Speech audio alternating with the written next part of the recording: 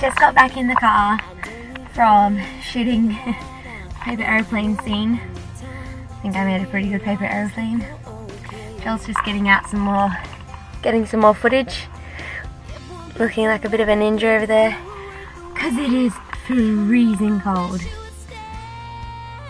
Hello, we are back on set today to get a couple more shots for my film clip for Overrated. Uh, just wanted to let you all know that I will be performing my single live and acoustic on 106.9 NXFM Thursday morning at around 7 o'clock. So I hope you can all tune in.